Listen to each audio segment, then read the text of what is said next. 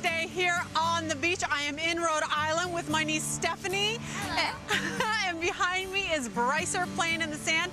And today is all about a great clam bake, a fabulous menu coming up. And it all starts off with steamers. I'm going to serve them with shallots and white wine. They're going to be seasoned to perfection.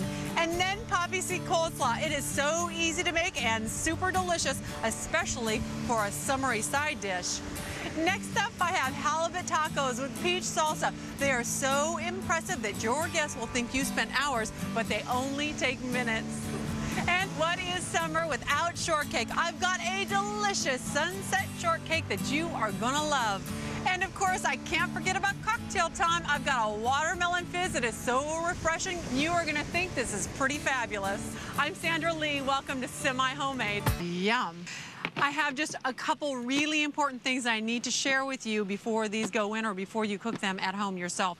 First of all, it's super important that you clean them really, really well. Also, I like to take the beards off of them. Some restaurants do, some don't, but I love to take the beards off them because this right here, this gritty part, you gotta just pull this right like that. Ooh, and he's tough.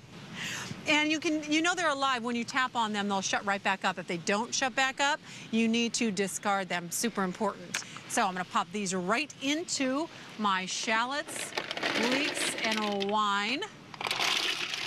I cannot share with you how good this smells. And now to this, I'm gonna put the lid on and let these babies cook up.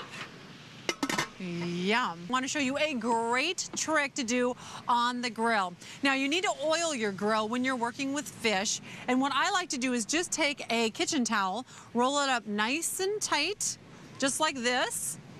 So you have this nice little round part here. And that is great for absorbing oil and getting that onto your grill. See how much that retains? Then you just go right on your grill. And that just keeps whatever you're cooking from sticking. I love being outside. Don't you just love outside the ocean or if it was lake, that would be great too. You're in your bathing suit, a sundress, you're relaxed. I cannot wait for that watermelon fizz. Yum. Welcome back to Semi Homemade. I'm just taking my halibut off of the grill. Look at how good this looks. It's gonna make the best fish tacos ever. I want to pop this down for just a second. I also want to get my, uh, my wonderful tortillas off here. Be careful with these. They are nice and warm exactly how I like them. You can see the steam coming off of them. Woo, woo. That's some beautiful things here.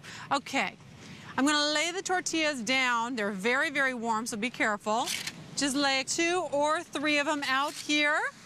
Whatever you can get on your plate. I'll make some more later on, but I want to show you how to build these really quickly. Super simple. All I'm to do is just take a fork and just kind of flake these just a little bit. Look at how gorgeous that, just like that.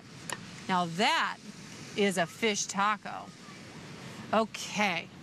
I'm to set this aside for just a second back to semi-homemade. I'm Sandra Lee, and I've got a great cocktail for you today. We're out here by the ocean. It is so beautiful, all that fabulous food. Which you see the tablescape, but I need cocktail time. So this is a fantastic cocktail called a watermelon fizz. Really easy to do. Just put ice in your blender. Then I've already cut up some watermelon. That's all you have to do. That goes in here next.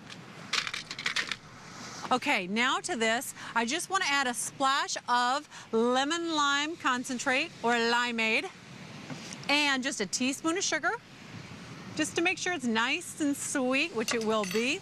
Then I'm going to add club soda. Be careful with that. Don't shake it before you pour it or open it.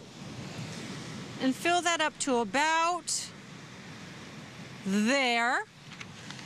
And then I'm just gonna add some melon vodka to this. About two, three shots is good.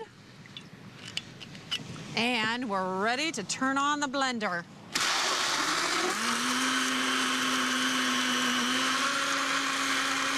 This is a very quick cocktail. Now I'm just gonna pop this into my glass. You can garnish with two things, by the way. Either a sprig of mint, which would be delicious, or I even like to put just a strawberry on the side of the glass, just like this. Come with me, because I wanna show you a great tablescape.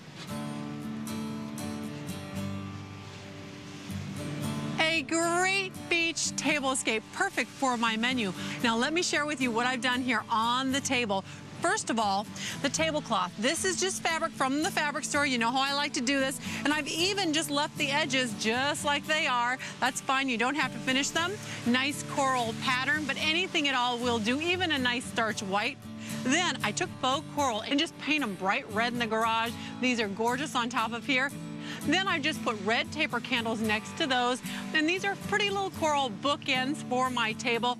But what's really bookending this table are these fabulous votive candles with burgundy color candles inside. These candles, by the way, they are citronella, so I don't even have to worry about those bugs coming and bothering us at the end of the day. But if you don't want to spend the money on pretty little votive candles, you can get little tiny ice buckets like this, really inexpensive, like a dollar or two at the craft store. Put your candles in here, then you have a nice collection that you can use anytime you want. Now, the place settings are just regular plates with a nice red band around them, but look at what I'm using for my napkin ring. This is just a beautiful coral bracelet, and everybody has something to take home with them to remember this day by.